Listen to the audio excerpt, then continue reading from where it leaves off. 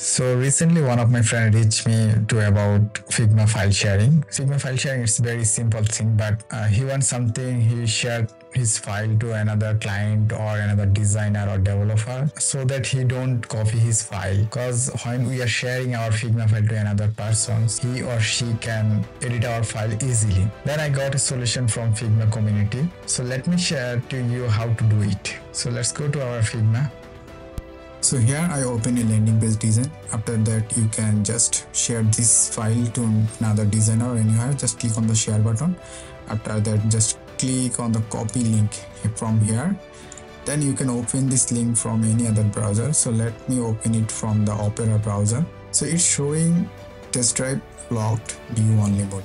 So almost everyone basically see this thing. So let me try to copy this file from here just copy this thing and go to the another figma file and paste it. Basically it's pasting very easily. So our requirement is nobody can copy our design directly from our sharing link. So let's see how to do it.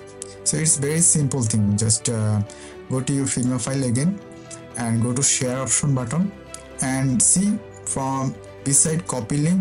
There is a button the name is toggle button and just click on this thing and uncheck it. See this is checked it's already checked. So just click on this thing. You see it's unchecked. Unchecked. After that just copy this link then open this link from your browser. Let me close this thing again.